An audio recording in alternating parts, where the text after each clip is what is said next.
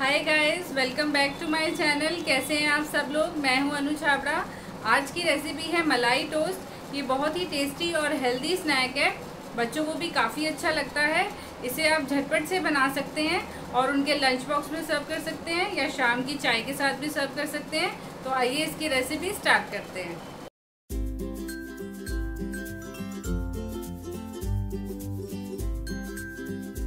जल्दी से बन जाने वाले टोस्ट के लिए हमें चाहिए एक कैप्सिकम एक अनियन और घर की निकली हुई दो टेबलस्पून मलाई ले रही हूँ मैं।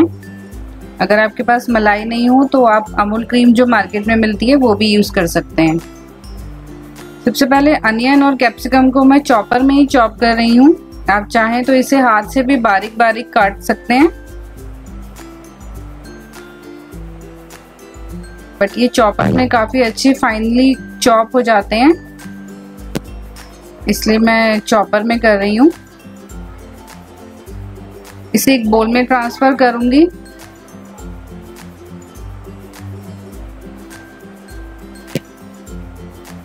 और अब मैं इसमें मलाई डाल रही हूँ।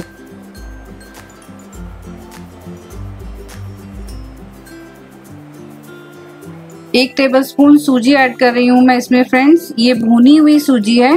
आप सूजी को भूनकर ही इसमें डालें, तभी इन टोस्ट में बहुत ही अच्छा फ्लेवर आता है। एक टीस्पून सॉल्ट और half teaspoon red chilli powder है। इन्हें अच्छे से मिक्स कर लूँगी। सूजी को भून के डालने से इन टोस्ट में बहुत ही अच्छा फ्लेवर आता है और खुशबू भी बहुत अच्छी आती है। इस वक्त अगर आपको मलाई कम लग रही हो तो आप इसमें एक चम्मच मलाई और डाल सकते हैं। ये मिक्सचर बिल्कुल भी ड्राई नहीं होना चाहिए। आज मैं ब्राउन ब्रेड यूज़ कर रही हूँ। आप चाहें तो व्हाइट ब्रेड भी यूज़ कर सकते हैं। ये आटा ब्रेड है। इसके ऊपर मैं इस मिक्सचर को अच्छे से स्प्रेड कर लूँगी। अगर ये मिक्सचर ड्राई होगा तो ये ब्रेड के ऊपर अच्छे से स्टिक नहीं हो पाएगा। इसलिए आप मेक श्योर sure करें कि इसके अंदर अच्छे से मलाई हो, जो कि वेजिटेबल्स को बाइंड करे और इस ब्रेड के ऊपर इजीली स्प्रेड हो जाए।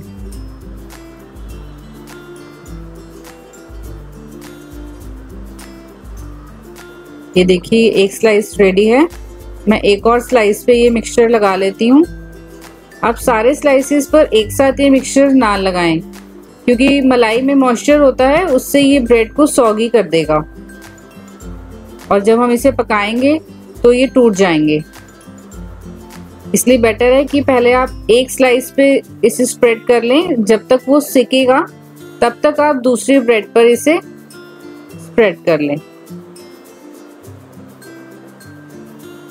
देखिए, बिल्कुल इसी तरह से।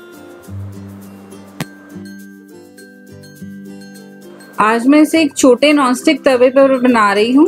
मेरे पास ये है। आपके पास जो भी घर में नॉनस्टिक तवा अवेलेबल हो, आप उसके ऊपर भी इसे बना सकते हैं। हाफ़ टी स्पून ऑयल डालकर और इसे अपसाइड डाउन इस स्लाइस को मैंने रख दिया है और हल्के हाथों से प्रेस किया है ताकि जो मिक्सचर है वो इजीली इसके साथ स्टिक हो जाए। इसे एक मिनट तक मैं लो फ्लेम पर ही पकाऊँगी। आप इसे तेज आँच पर नहीं पकाएँ शुरू में। थोड़ा सा ऑयल दूसरी साइड भी स्प्रिंकल करके। एक मिनट के बाद मैं इसे टर्न करूँगी। आप इसे साइड से चेक कर सकते हैं। हल्का सा जब गोल्डन ब्राउन हो जाए, तभी आप इसे टर्न कीजिए। ये देखिए, ये एक तरफ़ से काफ़ी सिक गया है। अब आप चाहें तो फ्लेम को मीडियम कर सकते हैं। और शुरू में आप फ्लेम को लो ही रखें। दूसरी तरफ़ से भी थोड़ा सा गोल्डन ब्राउन हो जाएगा। उसके बाद में हम इसे फिर से टर्न करेंगे।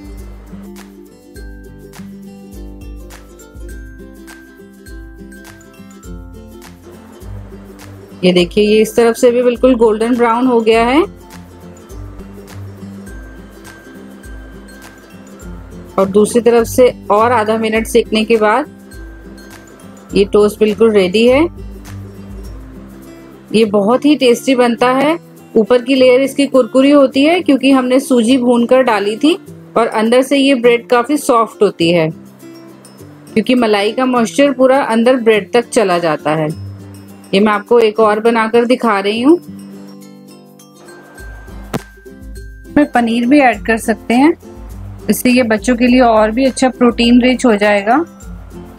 वैसे तो ये टोस्ट काफ़ी फिलिंग भी होते हैं। आप उन्हें लंच बॉक्स में दीजिए, उनका पेट बहुत अच्छे से भर जाता है और उन्हें काफ़ी पसंद भी आते हैं ये। अब इसी तरह मैं अपने सारे सैंडविचेस बना लूँगी। ये खाने में बहुत ही टेस्टी बनते हैं फ्रेंड्स। अगर ये रेसिपी आपको अच्छी लग रही है तो प्लीज़ मेरे चैनल को लाइक, शेयर और सब्सक्राइब ज़रूर कीजिए। और बेल बटन पर भी क्लिक कीजिए ताकि आप मेरे आने वाली रेसिपीज़ को मिस ना कर पाएँ।